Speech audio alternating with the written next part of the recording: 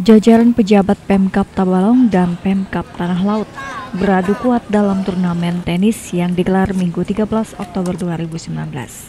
Turnamen ini merupakan salah satu dari rangkaian kegiatan silaturahmi antar pemerintah Kabupaten Tabalong dan Tanah Laut.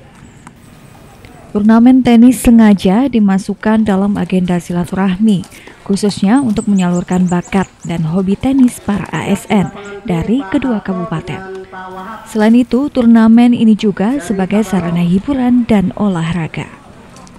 Beberapa cabang olahraga itu sengaja dipertandingkan persahabatan antara dua pemerintah daerah kabupaten. Hmm. Ya olahraga hiburan lah di sini tuh karena ada tidak hanya mereka yang memang memang berbakat dan punya Eh, kemampuan bagus, tapi juga yang sekedar hiburan olahraga seperti saya misalnya. Pertandingan olahraga persahabatan antar dua kabupaten ini melibatkan tiga cabang olahraga, seperti tenis, futsal, dan sepak bola.